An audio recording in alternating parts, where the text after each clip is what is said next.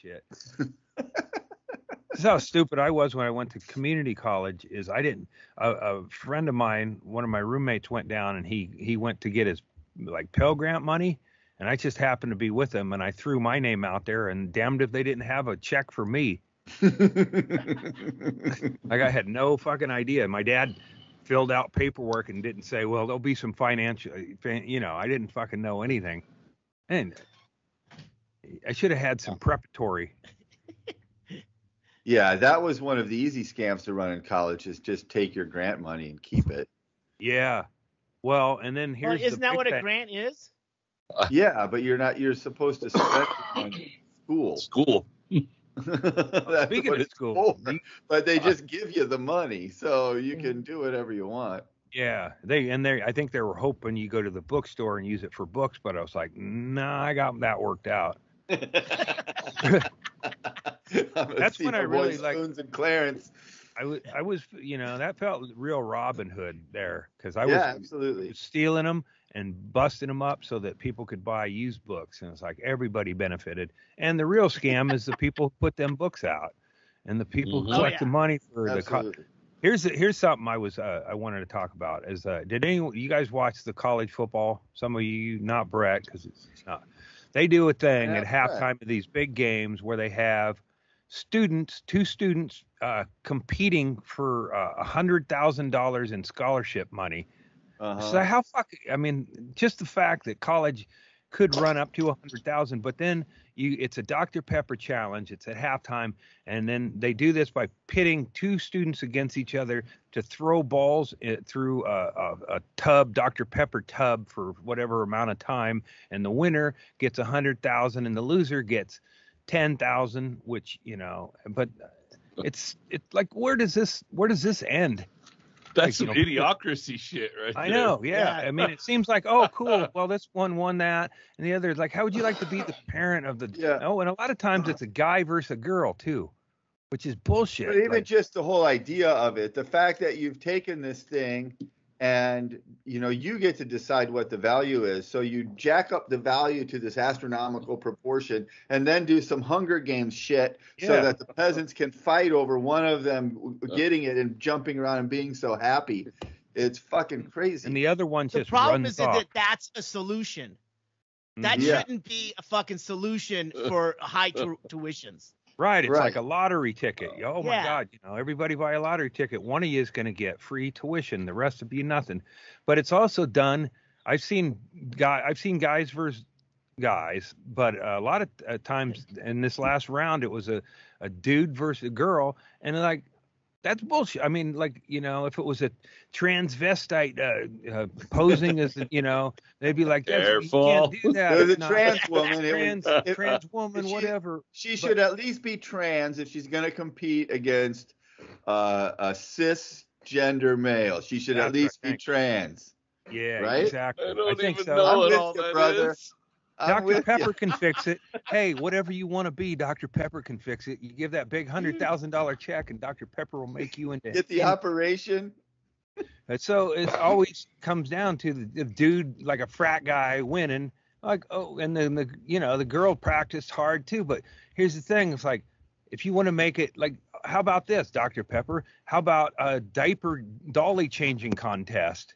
And they have to grab the baby out of the bucket and put a diaper on it quicker because I guarantee you, uh, most girls don't grow up holding and throwing a football, so they go through a training period and they get pretty good at it. But then frat guy who's just a little bit better at it always ends up winning, and it's like, all right, fuck you, Dr. Pepper, just give the money to the people. Or here's something you could do: how about you put two fucking old people down there with a chance to win a heart transplant? You know, if you want to prey on the desperation, That's that essentially is our healthcare system. yeah.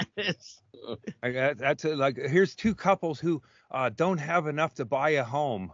Uh, come on down there, so you can just be like a, a like how disappointed would you be watching your kid? You, uh, God damn it! I raised my girl. She ice skated and I shit, man. College would have been paid for, but it just here chuck the fucking football around with daddy. You never know when it'll pay off big. You know, There's no you want to live in debt? You want to live in debt your whole life, or do you want to win a big check from Dr. Pepper? Yeah. Up until that moment, was uh, uh, somebody I trusted. It could be like a Dr. Pepper Slumdog Millionaire, where like everything, every little contest the girl competes in, she thinks back to a time when she was a kid and her dad and her were out like, oh, this is when I learned to skip rocks with dad. And now that part of the contest comes up and she's really fucking good at it. And she wins all the things and she wins Also- fucking tuition to Clemson. Yay. Also, also, how come they don't have fat ones up there? It's like they're chosen randomly. I, I, um, you know, I would guess most of the base of Dr. Pepper drinkers are probably the chunkier students. You know, if it was Mountain Dew, I would say all of them. But you know, there's all these. You know, you chose at random. Why do they look like they were cast for a Dr. Pepper commercial where they're dancing around and shit? That's not that's not randomly chose. Randomly chose, you're gonna get somebody that's fucking ugly.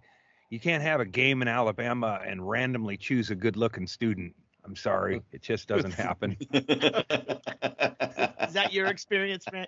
I went to yes, I walked around at uh, Auburn College University. kids are good looking, man. College kids at big schools are good looking because they come from good stock.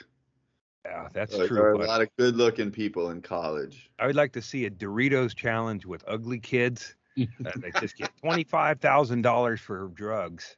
It's like, yeah. you- all right, We don't have gonna The Mountain Dew Code Red Challenge. Yeah, so I don't know. I just kind of re- I resent it now. I mean, just watching the stupid the way they do that, and then you're supposed to like, you know, I knew. uh, I think it was the Alabama game, and there was a a, a one. Uh, it was, I think it was two girls. This one, but one of them had what do you call the thing? The Habib Hajib. Habib on her head, and I wanted her Uh, yeah, to win, cover, but I the know head cover. His yeah, job. that- yeah, Hijab, that's what it is. I knew. I didn't say that right. Chad got it. Thank you, Chad. What Chad's our fuck? most PC member. So I was rooting for her, and I, I could I could just feel uh, the tension. it was a close matchup. I could feel the t- tension of the others, uh, the people watching it, and I don't think they wanted her to win like I did in Alabama. Yeah, Look maybe at, not. look at this There's guy. a fat This one. guy- He's fat. Here's here this guy. This guy threw it like They- you see him holding it they- right there. Yeah, He threw it horizontally, and I don't he know. actually won. They always throw it awkwardly. They either chest pass it or they throw it like that. But nobody, I guess, why wouldn't you have time to just throw it like a football and then pick one out and throw it? That's how I'd do it if I could compete for college tuition with a with a student. the whole thing is gross. Yeah, I mean, it- yeah, it Bernie did- it did feel like Hunger interrupt Games. every one of these and be like, "It's a crime that anyone has to pay anything for Oh yeah, college. naked, This should run all be across, free." naked and free college for all, and run across Yeah. there and pick out like just run out there and pick one of the balls off and keep running. Did we see that It correctly? I'm not. I don't look. I I, I, I could have done that years a few years ago, but right now I'd probably be. Uh, you know, no. There's a reason elderly people don't go around streaking. yeah. Oh, well, there's is a reason that they the don't run onto the field during sporting events. That's yeah, Is that the sausage races? yeah. uh, just another like horrible halftime thing. It's like, Uh-huh. yeah, yeah, no, this that's the the, new- that's this will be the, the uh, new tuition. Those, yeah, they That's put those in. Milwaukee. Those are, yeah, those are uh, uh, uh, crew or uh, people from the crowd too. I think. I think so. Yeah, they can't. I like the really- president one. They do that in DC. But yeah, I'm glad. I'm glad that Chaille's blocking out the Mexican one because we'll probably get kicked off of whatever platform we're on if we have that picture. it looks like up. yeah, That's looks like not right at all. that looks like Mexican Walter White kind of. Look at his legs too. I think they put the brown guy in that one. That's His fucked legs up match Yeah. the costume. Yeah, everybody else got white Skin might legs. be brown, but that looks a lot like uh, Castle Rock Kenny to me. built, they're built similar. any one of those guys could be Castle Rock Kenny. Let's be honest.